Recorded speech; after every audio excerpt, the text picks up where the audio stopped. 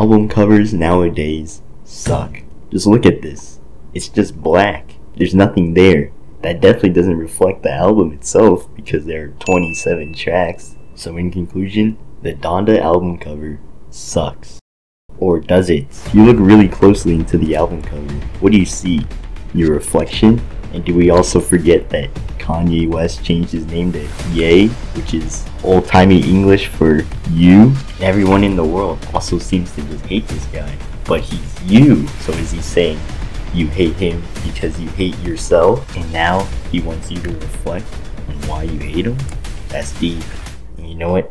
Now I'm inspired to get you to hate yourself as well. Howdy, howdy YouTube. We're, we're back. First album chosen in the generator. Love Supreme by John Coltrane. Jazz album by the American saxophonist John Coltrane. I already said that. Apparently recorded in one session. That's pretty nice. Anyways, here's a time lapse of me just listening to it. Oh yeah, I was like looking at the Wikipedia in the meantime. This is what the rough sketch looks like. Let's see. This was three months ago. Let's see if I remember anything. Like the audio recording, you heard like the saxophone in like one of your ears. So that I, I made them like stand in the very far end.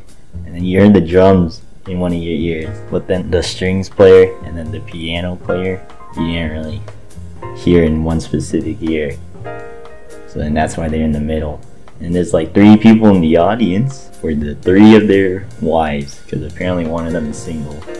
So now I look up some reference images to trace over because I can't really draw with the mouse. And later I ended up scrapping the couch idea so that allowed for more space to move everyone down.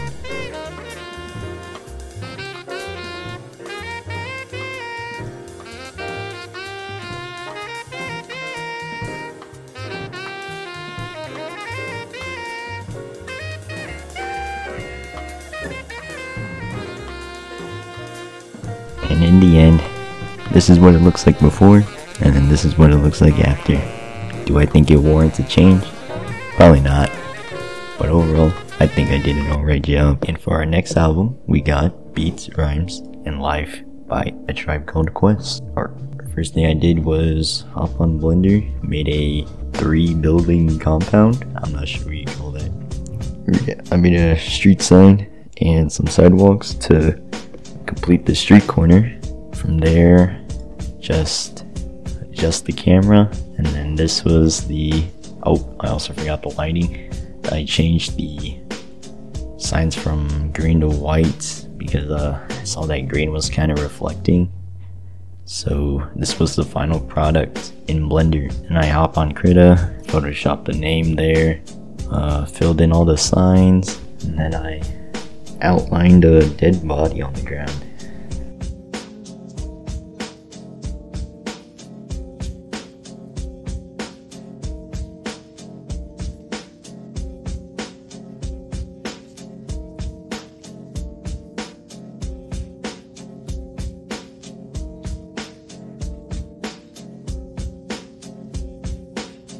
This is the old album cover, and then here's the new one. Uh, do I think it warrants a change? Definitely not. I definitely think the old one looks way better.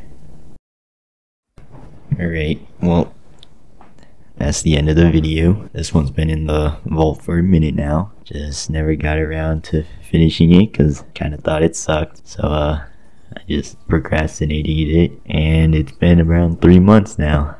Uh, it's been like five months since I last uploaded. Uh, this isn't really an excuse, just got a little busy, so couldn't really do much there. Uh, anyways, thanks for watching. Hopefully, you don't have to wait five months to see a next another video. I think I already have one in the works, so hopefully in two or so months. I don't know. Pretty busy this this this winter, so it might take a while. Anyways, goodbye.